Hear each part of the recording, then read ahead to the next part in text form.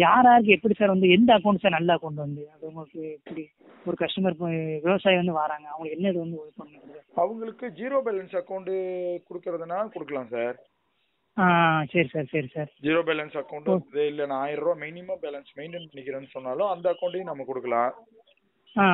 Pradhan savings அக்கௌண்ட்ங்கிறது ஆயிரம் ரூபாய் மினிமம் பேலன்ஸ் மெயின்டைன் பண்ற அக்கௌண்ட் சரி சார் சரி சார் சார் சுபா சேவிங்ஸ் அக்கௌண்ட்ங்கிறது ஜீரோ பேலன்ஸ் அக்கௌண்ட் சரி சார் சரி சார் ஜட் சேவிங்ஸ் அக்கௌண்ட்ங்கிறது ஜீரோ பேலன்ஸ் தான் பட் இருந்தாலும் அந்த அக்கௌண்ட்டுக்கு மட்டும் ஏடிஎம் கார்டு வராது ஓ அந்த கார்டு வர சரி சரி சரி சார் அது வந்து ரொம்ப வயசானவங்களுக்கு படிப்பறிவே இல்லாதவங்களுக்கு தரது அது ஆ சரி சரி சரி சார் ஆ சரி பவிசியா சில்ட்ரன் அக்கௌண்ட்ங்கிறது பாத்தீங்கன்னா குழந்தைங்களுக்கு முப்பது வயசுல இருந்து பதினெட்டு வயசு வரைக்கும் உள்ள குழந்தைங்களுக்கு தருது சரி சார் சரி சார் சரி சார் சரி சார் சரி சார். இதுதாங்க இந்த பேசிக்கான அக்கௌண்ட் அக்கௌண்ட்டுக்கு வந்து பேசிக்கான அமௌண்ட் வந்து இருநூத்தம்பது ரூபாய் இரநூத்தம்பது ரூபா? சரி சரி அந்த இருநூத்தம்பது ரூபா அப்படின்னு கேட்டீங்கன்னா உங்களுக்கு. வந்துட்டு ஒரு அக்கௌண்ட் மெயின்டெனன்ஸ் ஒரு வருஷத்துக்கு ஏடிஎம் கார்டு மெயின்டெனன்ஸ் ஒரு வருஷத்துக்கு ஓகே சார். அந்த ஏடிஎம் கார்டு வச்சிருக்கிறவருக்கு ரெண்டு லட்ச ரூபாய் இன்சூரன்ஸ் கவரேஜ் ஒரு வருஷத்துக்கு.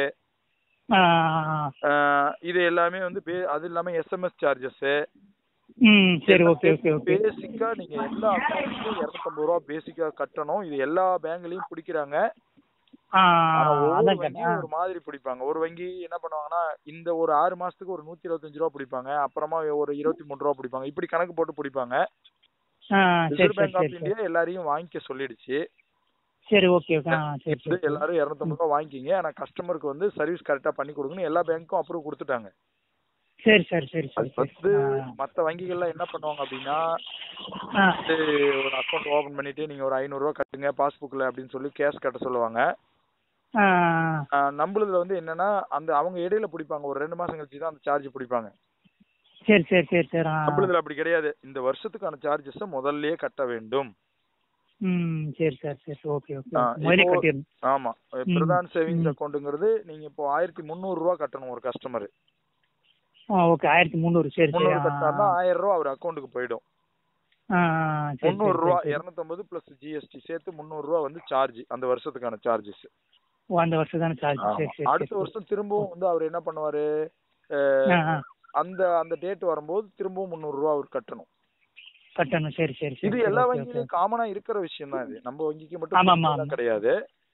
சரி சரி சரி மற்ற. வங்கிகளை விட நம்ம வங்கியில என்ன அட்வான்ஸ் தெரியுங்களா? இப்போ ஒரு ஆன்லைன்ல டிரான்சாக்ஷன் பண்றாங்கன்னா மற்ற வங்கிகள்லாம் பாத்தீங்கன்னா ஒரு ஒரு பத்து டிரான்சாக்ஷன் தான் கொடுத்துருப்பாங்க. ஒரு மாசத்துக்கு ஃப்ரீயா பண்ணிக்கிறது.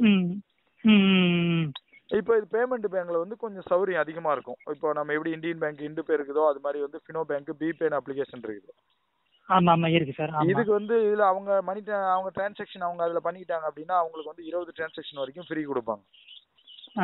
சரி சரி சரி. ஓகே இப்போ ஆதாரப்பட்ட ஸ்டேட். வங்கி மத்த வங்கிகளே பத்து டிரான்சாக்ஷன் தான் ஃப்ரீ தருவாங்க.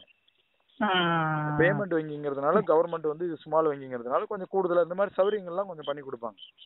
சரி சரி. சார் இப்போ இன்னொரு டவுட் சார். இப்போ நம்ம ஏடிஎம் வச்சு இப்போ அதர் ஏடிஎம்ல வந்து நம்ம எத்தனை தடவை எடுத்துக்கலாம் வந்து? ஒரு மாசத்துல? மூணு தடவை தான் சார் எடுக்க முடியும் அதர் ஏடிஎம்ல மூணு தடவை மூணு தடவை எடுத்தா வந்து சார்ஜஸ் கிடையாது. ஆமா. நாலாவது? போட்டா சார்ஜஸ் வந்துரும். ஆ. ஏன்னா இப்போ நம்ம ஃபினோ ஏடிஎம் வந்து எங்கேயும் இப்படி பர்டிகுலர் அப்படி எதுவும் இல்லைல்ல ஆனால் சார்? எனி ஏடிஎம் எல்லா ஏடிஎம்லயும் கஸ்டமர் எடுத்துக்கலாம். அதுக்கெல்லாம் தடை கிடையாது. கூகுள் பே போன் பேல ஆட் பண்ணிக்கலாம். அதெல்லாம் எந்த தடையும் கிடையாது. பட் என்னன்னா அந்த ஆர்பிஐ மத்த வங்கிகளுக்கு என்ன லிமிட் கொடுத்துருக்கோ அதுவே தான் நமக்கும். அந்த லிமிட்டை தாண்டாது. சரி சரி சார் சரி சார். சார் அதுக்கப்புறம் சார் இந்த இப்போ எனக்கு அக்கௌண்ட் ஓப்பன் பண்ணிட்டு இப்போ அந்த ஓப்பன் அக்கௌண்ட் கொடுக்கும்போது வந்து மறுபடியும் இப்போ இந்த ஜன் சேவிங் அக்கௌண்ட் மட்டும் தான் காமிக்குது இன்னும். அதுதான். இல்ல இல்ல. இப்ப வராது உங்களுக்கு. இப்பதானே அந்த காசா. மெசேஜ் போட்டு பணம் எடுத்திருக்காங்க. நூத்தி எழுபத்தி ரூபா. ஆமா ஆமா ஆமா. ஒரு வாரம் சார். ஒர்க்கிங் டேஸ் கழிச்சு வெயிட் பண்ணி இதே மாதிரி மொபைல் நம்பர் கொடுத்து சர்ச் கொடுத்தீங்கன்னா ஓப்பன் அக்கௌண்ட் கொடுக்கும்போது உங்களுக்கு அந்த ஏழு காட்டும். சரி சரி. ஏன்னா இப்ப நீங்க எங்ககிட்ட ம். ஐடி நீங்க காமிச்சதுக்கு அப்புறம் சொல்லுங்க. நீங்க காம்போ மெசேஜ் கூட போட தேவையில்ல. ஏடிஎம் கார்டு எங்கிட்ட டைரக்டாவே வாங்கிக்கலாம் நீங்க. சரி ஏடிஎம் கார்டு வாங்கிக்கலாம்னா உங்கள்கிட்ட சரி. ஓகே ஓகே ஓகே அந்த மாதிரி பண்ணிக்கலாம் ஒன்றும் பிரச்சனை இல்லை. சரி சரி. சார் அப்போ எனக்கு ஒரு பத்து நாள் கழிச்சு இப்போ எனக்கு ஒரு ஏடிஎம் கார்டு மட்டும் தேவைப்படுது சார். வந்து அப்போ நான் இப்போ பண்ணுறேன் சார். ஓகே ஓகே சரி ஓகே. ரொம்ப தேங்க்ஸ் சார். Right okay.